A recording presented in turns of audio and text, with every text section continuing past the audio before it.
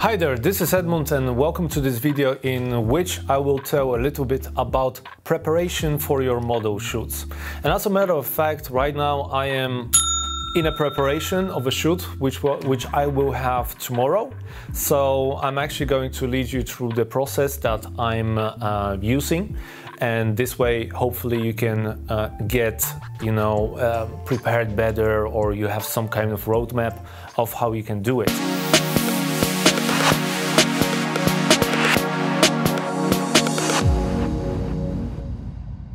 As a matter of fact, you know, if you think that, hey, about, you know, why is preparation so important, then you should think about what happens when you don't prepare.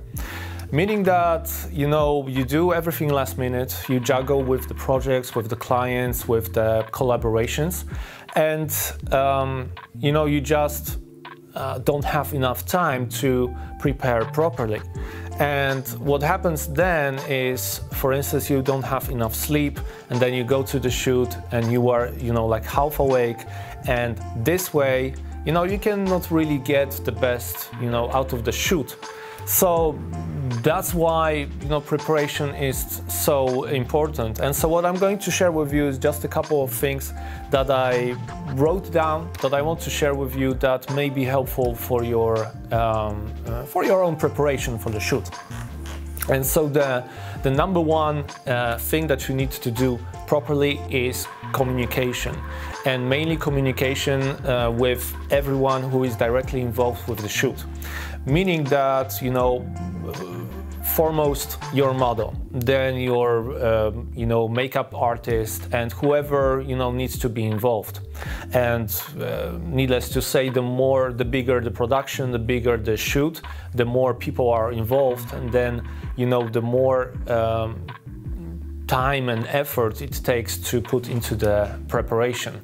And so communication is key and you need to be available for everyone and you need to answer to the, um, to the messages. And as a matter of fact, one thing that I really recommend when it comes to you know all the communication is just to create a WhatsApp group or whatever kind of you know communication uh, you know system you're using in your own country, um, you know, and this way, or even a Facebook Messenger group of a couple of people, you know, and this way you can really talk fast and you can share things, um, you know, in this group and anything that's important uh, when it comes to the shoot.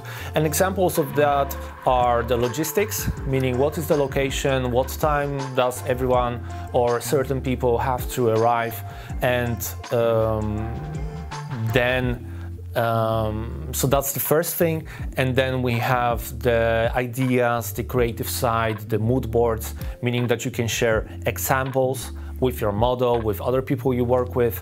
And uh, so they can actually um, expect you know how you want to work with them and how you want to film uh, etc and one advice that i can really give you is to be completely direct and honest that you know if you don't like something or if you you know don't like working with a certain person then it's absolutely fine but it's very important that you you know talk about it freely. You know whether in the group whether one-on-one but make sure that everything works just fine between people and that all the dynamics are uh, in the right place.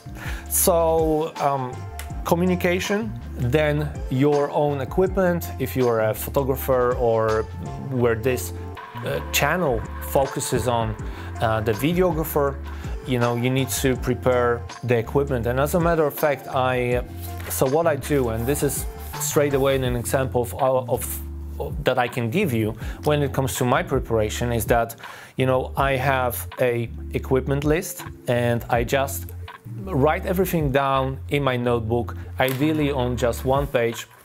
And in a second I will show you how this page looks like. And so what I do is I want I, I try to break down as good as possible all the things that I need to take you know my camera um, memory cards, uh, batteries, you know, make sure also that everything is fully charged, that you have backup, Uh, for instance, here on, on this example, I have the cameras. I have two cameras because I take the second camera for a, a behind the scenes um, you know, footage and as a backup as well. Um, I have a monitor, I have a color card I'm taking with me, some kind of reflector because tomorrow we're going to have a, um, a, a, a, beach uh, shoot. We're going to film in the dunes and the weather is going to be hopefully good.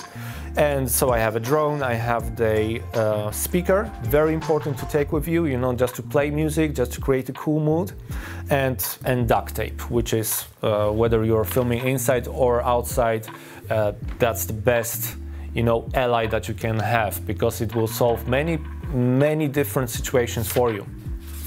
And so this is my equipment list.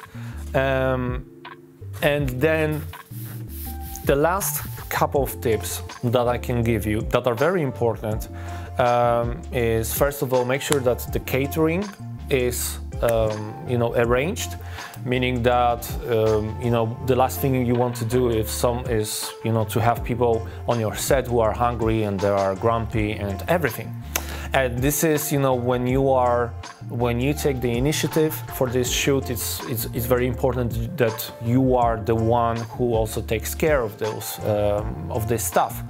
Um, and even if everybody has to take their own food with them, just you know, just communicate it uh, with them, just tell them, and that will be perfectly fine. Uh, the other the second last thing are the contracts, and this is entirely up to you whether you actually work with um, contracts and release forms. Um, and in my case, I don't really use them, meaning that I have them, but I you know, when I'm working with people, I really focus on trust and making sure that I work with the right people. And of course, the first time you work with someone, that can be very tricky and you don't really know uh, what to expect.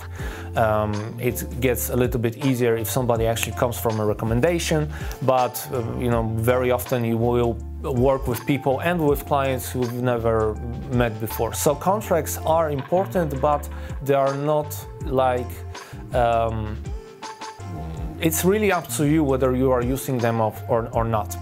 And so the last advice that I can give you is a very simple one. You know, when you are busy, it may be a little bit tricky, but if you have this possibility, make sure to have a good night's sleep, make sure to sleep enough, um, you know, don't party too much. You know, I, I, know it gets a little bit tricky when you are in a, you know, some kind of paradise, paradise location. But if you are simply staying at home, don't drink alcohol, don't do drugs, uh, just get some sleep, get enough sleep, and this way you know that for sure your energy uh, will be high the next day. Uh, try to eat clean, uh, save your save your energy, make sure that you are in a good condition, and I think that's about it. So I hope that you enjoyed this video. Um, surprisingly, I was able to do it in one take, even though it's really late and tomorrow is the shoot. And I know that the last piece of advice was about, you know, sleeping well, but, uh, you know, sometimes you don't have a choice.